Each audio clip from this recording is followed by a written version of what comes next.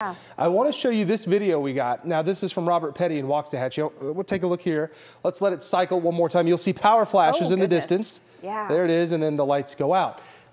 This same power pole, there it is, the power Oh, line down yeah. in Waxahachie. So that caused quite a few power outages there in Waxahachie. This video was taken uh, from Northtown Village Apartments in Waxahachie. So power out there. We've seen up to ba- uh, up to baseball size hail reports across North Texas tonight. That was in uh, Navarro County. Now tonight, the severe thunderstorm watch has been canceled for western portions of North Texas.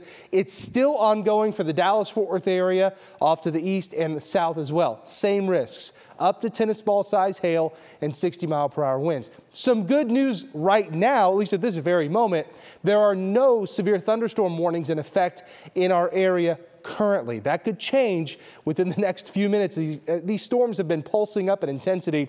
Very heavy rain and a ton of lightning been falling here in Dallas. Downtown seeing very heavy rain. I'm going to watch this right here near Loop 12. Uh, so you see Northwest Highway, some maybe a little bit of hail trying to form here uh, east of Park Cities. There's 76 degrees in Dallas now. See if we'll get lucky enough to get a little lightning. There it is. We'll take it.